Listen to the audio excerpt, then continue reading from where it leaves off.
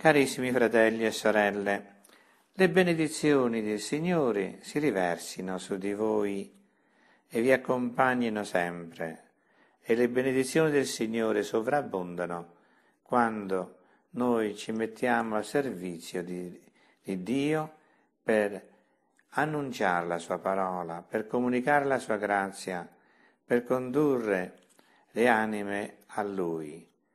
Non c'è opera più grande davanti a Dio che salvare i propri fratelli.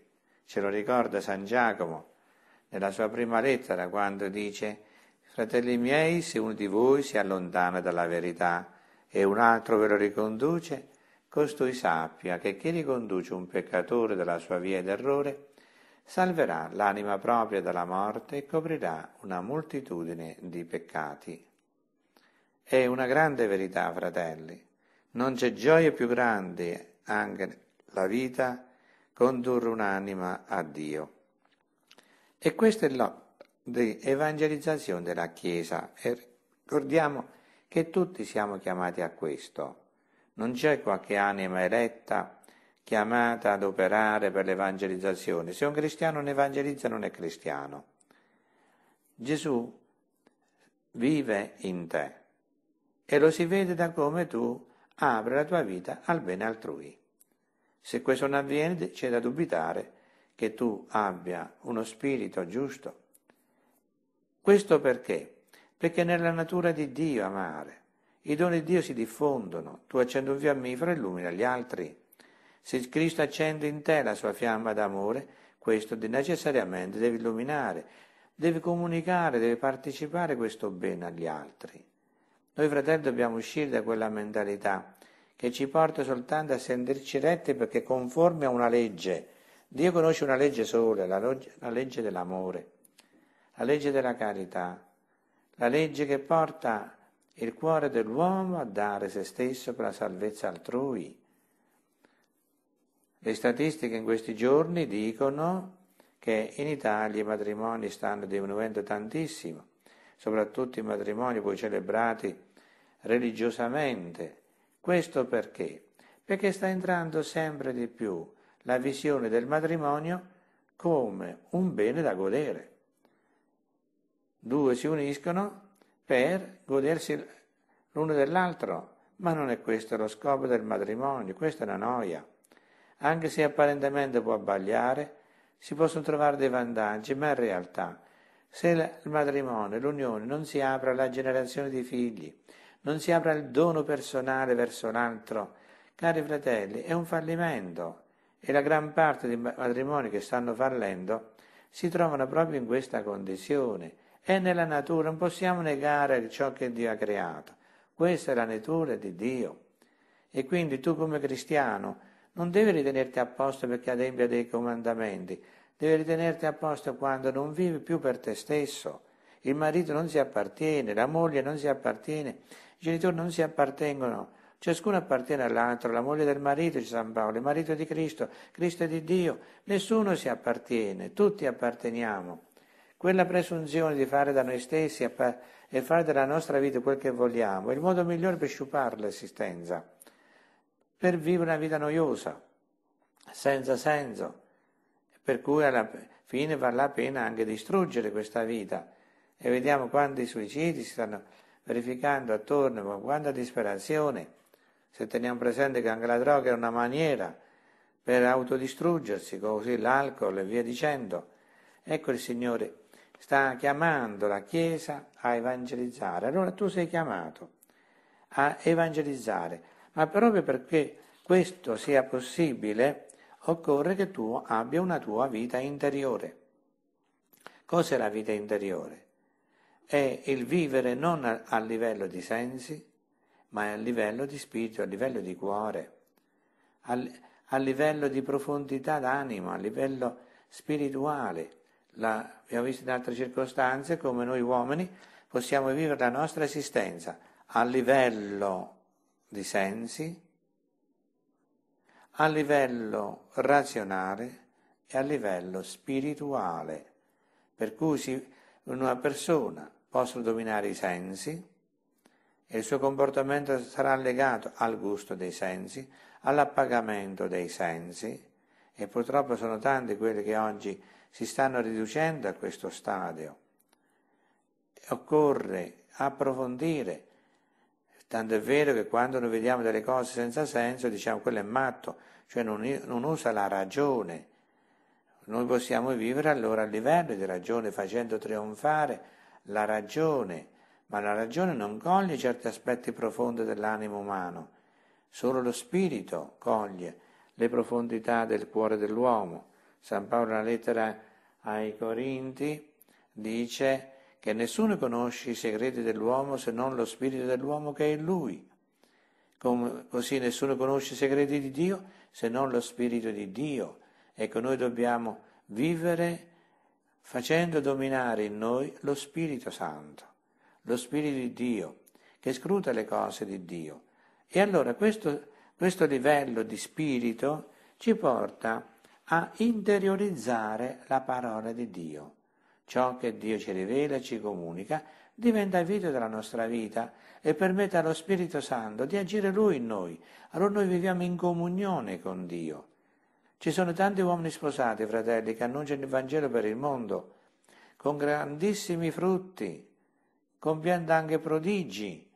Non è questione di essere consacrato in una vita religiosa o sacerdotale, e l'importante è essere consacrati a Gesù Cristo e quindi camminare in comunione con Lui.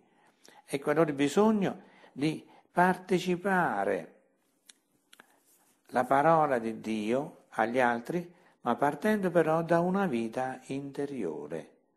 E questa vita interiore va coltivata, prima di tutto con l'ascolto della parola, meditazione della parola, riferimento alla parola, sottomissione alla parola di Dio.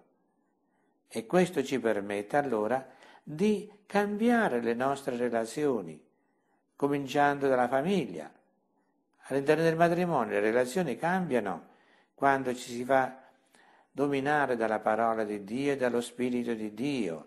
Marito e moglie allora realizzano una comunione profonda. Allora c'è una potenza in quella coppia, c'è una potenza in quella casa, c'è una grande comunicativa verso i figli, un arricchimento che altri si sognano perché c'è una vita interiore. Ora questo è necessario in modo particolare per evangelizzare, per comunicare il dono di Dio agli altri. E il Santo Padre quindi richiama questa necessità di cercare non quello che piace agli uomini, ma cercare invece ciò che piace a Dio. E uno dei mezzi per coltivare appunto la vita interiore è innanzitutto la preghiera di adorazione, il mettersi davanti a Dio e arrendersi a Lui come un pulviscolo che si mette davanti a una montagna. Dio è infinito nel suo amore e io mi perdo tra le sue braccia. Mi lascia avvolgere dalla sua presenza, dal suo amore, perché la sua vita permea ogni aspetto della mia esistenza e il cuore ha bisogno di saziarsi di questa presenza divina. E come abbiamo visto ancora, c'è la preghiera di meditazione. Che cos'è la preghiera di meditazione? È la preghiera in cui l'uomo riflette sulla parola di Dio. Non solo ascolta, ma riflette, medita, contempla ciò che Dio gli dice e lo fa penetrare nel profondo, lo stabilisce nel suo cuore.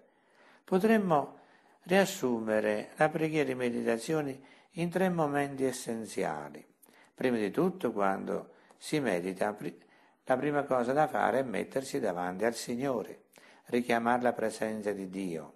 Ma poi si prende un testo sacro, testo della parola di Dio, un insegnamento della Chiesa, un episodio del Vangelo, si può prendere una verità di fede, eh, un brano di un santo, e si legge attentamente e adagio per, prima di tutto per capire ciò che si legge.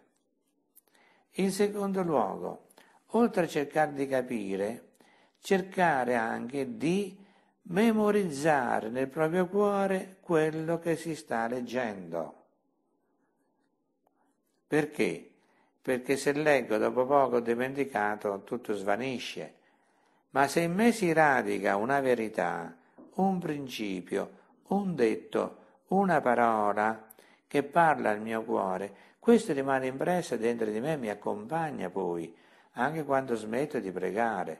Per cui vado a lavorare, questa parola mi accompagna. I maestri della vita spirituale paragonano quest'opera a quello che è la digestione del bue, che mangia la biada, la butta nello stomaco e poi rimurgina quando ha mangiato, lo rimurgina fino a che poi lo rimanda l'intestino perché sia assorbito. Così quello che Dio ti dice, tu lo devi comprendere, fissare dentro il tuo cuore e ruminarlo, cioè gustarlo, spezzettarlo. Ed ecco la seconda fase, quello di gustare quello che il Signore ti ha detto per farlo penetrare nell'intimo del tuo cuore, per fissarlo nella tua mente, ancora, oltre a gustarlo, applicarlo a se stesso. Applicarlo a se stesso. Cosa dice questa parola alla mia vita? Come si può realizzare questa parola? Cosa de- mi invita a cambiare? A che cosa mi stimola a fare? Ecco allora l'applicazione a se stesso. La parola mi deve convertire, la parola mi deve mettere in movimento, la parola che Dio mi dà non mi deve lasciare come mi ha trovato, come un'acqua stagnante, ma come una sorgente che gorgoglia, che scaturi- dà nuova vita in continuazione. Così deve essere la parola di Dio che Dio mette dentro il tuo cuore. E che la seconda fase della meditazione, rimurginare quello che Dio ti ha detto, gustare, gustare, goderne la bellezza, la dolcezza, ma anche applicare a se stesso quello che il Signore ti ha detto. Come si applica la tua vita? Come si applica alle situazioni, alle attività che svolgi e via dicendo? Perché la parola ti deve mettere in condizione di cambiare la tua vita e adeguarla alla volontà di Dio. E terzo momento della meditazione, quindi il primo momento è leggere, capire e, med- e fissare, memorizzare, secondo momento è il momento del gustare, dell'applicazione a se stesso, terzo momento è quello della contemplazione. Forte di quella parola si alza lo sguardo a Dio per rendergli grazie, per adorarlo, e tacere davanti a Lui perché non siamo più noi a pregare, ma Lui a pregare a noi, meglio Lui parlare a noi. Questo tipo di meditazione, fratelli, alimenta sempre l'intimo del cuore dell'uomo, alimenta quello che dicevamo si chiama vita interiore, perché l'evangelizzazione deve partire da una vita interiore matura. Un genitore che parla ai propri figli, ma dice parole che non nascono da un cuore che sente, da un cuore che ama, da un cuore convinto, sono tutte cose che lasciano il tempo, che trovano. Via, sono cose passeggere, ma quando parla l'anima, parla lo spirito, quello che tu dici penetra il cuore altrui. Il padre dice una parola, sembra che abbia detto un libro, perché dà una sapienza, comunica, arricchisce il cuore dei figli e di questo quando c'è bisogno oggi, fratelli. E quel che è vero all'interno della famiglia è vero anche ne, nelle relazioni col nostro prossimo. Perché? Perché appunto attraverso il prossimo la parola di Dio si comunica da uno all'altro. Quindi, terza fase della meditazione, contemplare, ringraziare, adorare, tacere, per lasciare che sia il Signore a parlare in noi.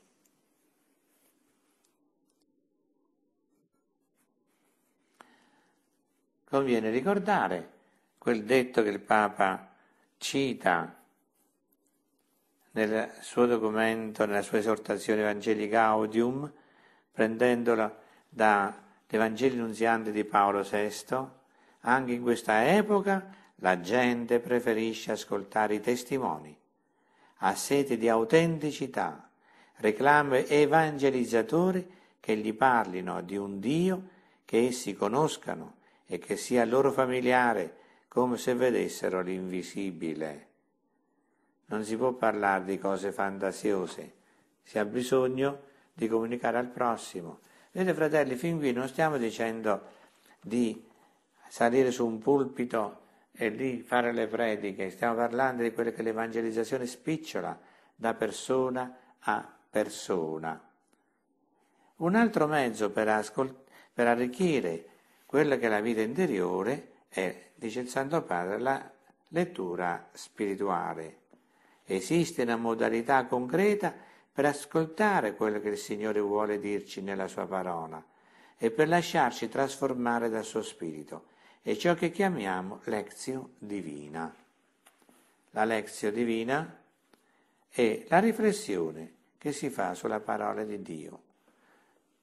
Leggo un brano, lo ripasso adagio adagio, segnandomi i punti, cosa sta dicendo, fisso punto per punto, cerco di entrare e penetrare nel significato di ciascuna di queste cose che mi vengono comunicate e per fissarlo dentro di me. Richiamiamo qui la meditazione.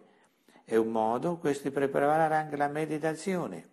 La lettura spirituale può essere anche, fratelli, la lettura di un santo, la vita di un santo, la lettura dei suoi detti, delle sue opere, la lettura spirituale può essere la meditazione dell'insegnamento della Chiesa, tutto ciò che in qualche modo viene a arricchire il cuore dell'uomo, tutto prepara a, questa, a questo incontro e prepara anche il cuore a rimanere alla presenza di Dio e a comunicare la sua grazia. Ora, volendo parlare Volendo parlare di evangelizzazione, a chi dobbiamo noi rivolgerci per portare la parola di Dio?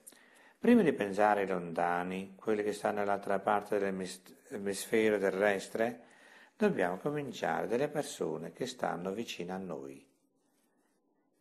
Per esempio parenti che compongono la famiglia, coloro che abitano nella stessa area geografica potrebbe essere opportuno prendere un foglio di carta e scrivere i nomi, diciamo una ventina, di quelle persone più vicino che so, con cui trattiamo abitualmente. Fate una lista, cominciando dai familiari, parenti più prossimi con cui vi incontrate, colleghi di lavoro o di amicizie più strette, e fatta la lista, provate a chiedervi per ciascuno di loro, ma che rapporto ho io con questa persona? Condividiamo qualche bene spirituale tra di noi? Condividiamo qualche valore di fede? C'è qualcosa che ci collega, ma anche ci spinge anche a condividere la fede che abbiamo, le convinzioni, i valori, la fiducia in Dio i progetti di amore verso il prossimo. Questo ci può aiutare a rivedere queste relazioni a pregare per ciascuno di loro. Provate a pregare qualche volta per ciascuno di loro. Signore, ti ho mai presentato la sua vita? Signore, ecco, ti presento le sue vicende, le sue necessità. Tutto questo ci può aiutare, fratelli, a cominciare a maturare le nostre relazioni e a rigenerarle e rinnovarle secondo lo Spirito di Gesù Cristo, che vuole che le nostre relazioni non siano carnali, come dice l'Apostolo Paolo. Noi non conosciamo più nessuno secondo la carne, le nostre relazioni devono essere relazioni intessute dalla, di fede, di amore, di Spirito Santo. Padre, rinnovaci secondo lo Spirito del Figlio tuo e donaci di essere creature nuove per la tua gloria, per l'avvento del tuo regno. E dona tutta la tua Chiesa, lo spirito missionario che animò il cuore del figlio tuo quando, facendosi uomo, venne a dar la vita per la salvezza di tutti. e non si risparmiò affinché nessuno andasse perduto. Te lo chiediamo per l'intercessione della Madre di Gesù Cristo e Madre nostra, la Vergine Maria, che cammina con la Chiesa e condivide con i suoi figli tutti i tesori di grazia che tu le hai comunicato, perché anche noi condividiamo con lei la sua stessa gloria. A te, Signore, la lode e la gloria per tutti i secoli dei secoli. Amen. E il Signore, fratelli, vi benedica tutti.